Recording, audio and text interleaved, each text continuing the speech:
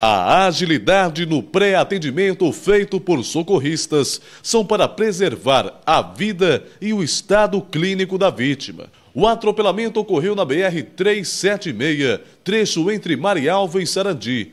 Com 68 anos, a pedestre foi atingida pela motocicleta após atravessar a rodovia distraída. A força do impacto da moto contra o corpo da senhora foi muito forte, agravando o estado da mulher que fraturou a perna.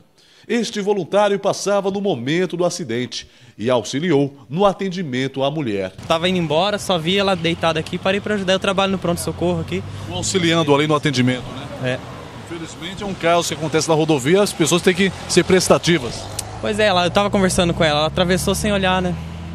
Falta de atenção acabou prejudicando a mesma. É, não foi culpa do motoqueiro, ela passou sem olhar. Após atropelar a mulher, o piloto da moto caiu e não sofreu lesões aparentes. A senhora distraída atravessou a via e a moto muito próxima não teve tempo de frear. Ela, ela invadiu a pista né, na trafegagem. Se eu não pego ela, acho que o ônibus pegava. Ela invadiu a pista.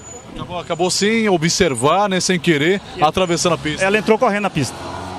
A você ali devagar, no limite... Devagar, Tava devagar. Graças a Deus, nada de mais grave aconteceu é, com ela. Graças a Deus. É. Eu acho que a senhora machucou um pouco, mas graças a Deus a gente não corre risco de vida, não. Você acabou se machucando aí ou não? Não, nem pouquinho, bem leve. Os socorristas da Via Par conduziram a vítima com fratura exposta na perna esquerda até o Hospital Metropolitano de Sarandi.